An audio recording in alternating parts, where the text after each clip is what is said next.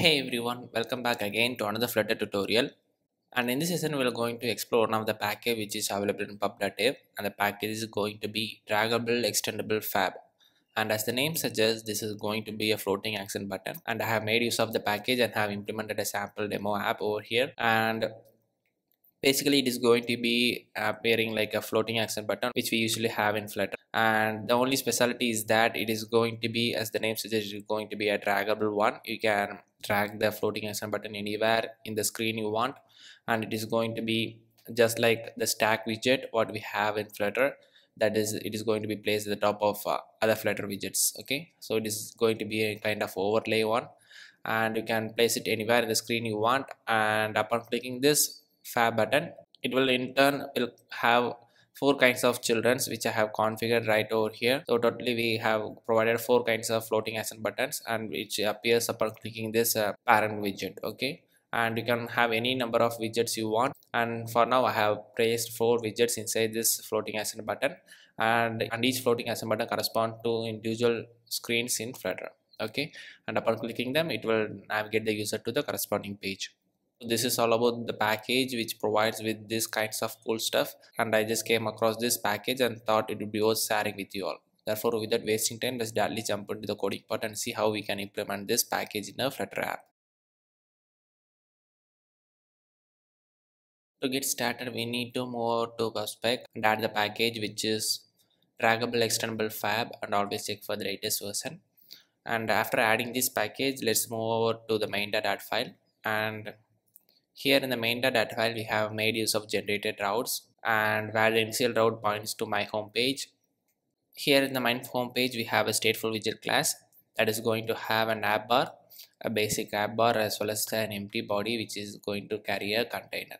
Okay, and below which we have a list of configurations which we have provided to make this floating action button look the way we want to have in our app. Okay, and let me just walk you with the basics of creating this floating action button from scratch. Now after the body we need to have the widget which is the extendable draggable fab. And this is going to have a list of required parameters. And they are the children's that is obviously the kinds of widget which we need to show upon clicking that particular fab okay? And the children is going to accept list of floating action buttons in turn apart from children's we need to again specify the count of the children so basically how many flutter widgets which is going to be placed inside this children widget. And another required parameter is going to be the distance. So this distance is nothing but it's the children's animation distance between the open and close. So it is going to be a required parameter and this is going to be a double value. And give any double value. So i have made it as 10 which is going to be look um, somewhat uh, decent and inside the children we are going to provide uh, the first child as the floating action button. And it is going to take an on press event which will navigate the user to the page which is the add screen. And apart from on press we can provide the child which is going to be the which is going to take the icons as the child over here. Okay now let's save this. And upon clicking this we now get one floating action button over there. And upon clicking which will take us to the add screen now we can just repeat this following step to have uh, four kinds of different uh, mm, floating actions buttons over here.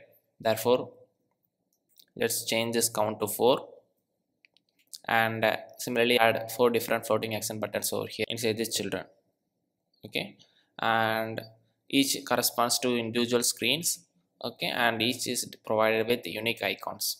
Okay? So let's refresh this app now we get four different icons over here for this uh, floating action button.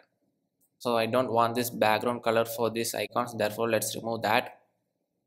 For that you can provide make use of children box decoration and provide the color as transparent.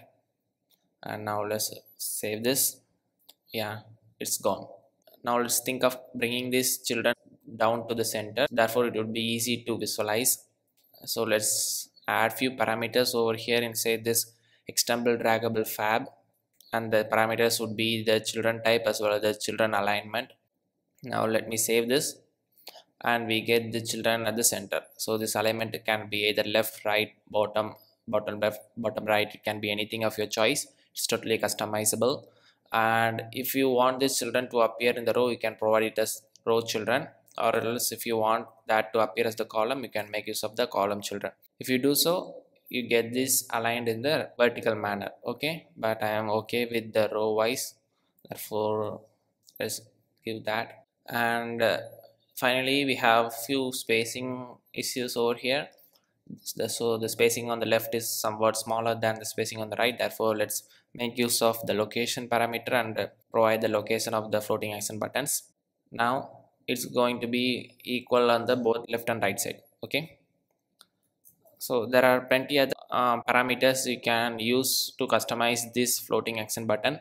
So you can configure the animations you can configure the box decoration alignment and plenty of other stuffs. So you can play around with these parameters to get the desired kind of style you want for this floating action button.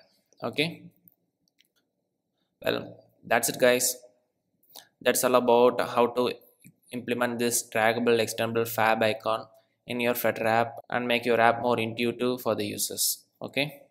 Hope you guys found this tutorial useful. If you do so consider subscribing and i will see you in the next one. Bye